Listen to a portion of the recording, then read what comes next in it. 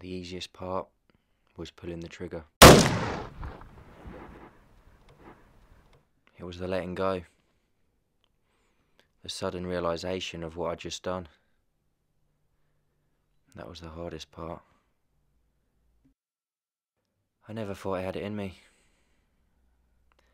One day, I just woke up and. click.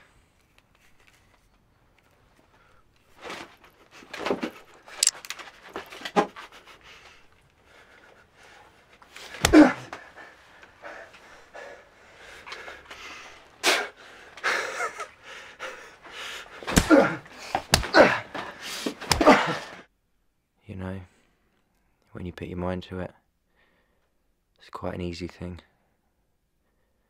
Taking a life, that is. Sometimes all you require is a necessary motivation. You probably don't remember me, but I remember you. Oh yeah. And who the fuck am I? Right now, you're just another missing persons report. Yeah, you missed your court appearing. It was two days ago. You made the front page. So now everybody knows who you are and what you did. You know, I beat them. Slowly. Punished them. At one point, I even said I'd let them go. I bet you didn't read that in the paper. But they didn't cover. You say one more word, and I'll cut your damn tongue out. You knew one of them, didn't you? Oh, the things I did. There was so much. So much. Shut up!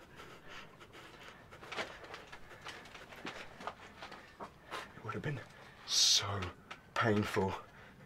Unique to their gender.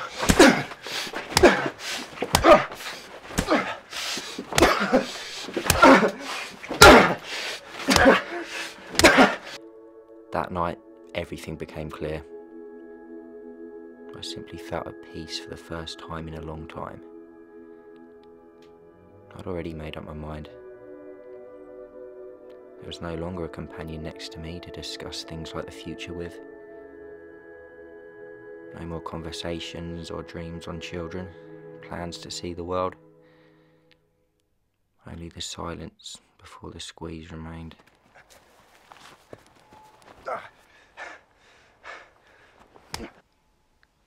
I miss those conversations. I miss holding her close. I miss the future we would have had. The easiest part was pulling the trigger.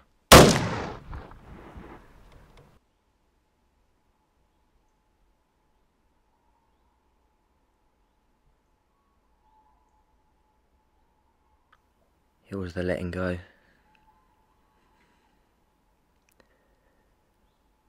The realization I would never again hold my wife in my arms. And if this is the last I look upon your face,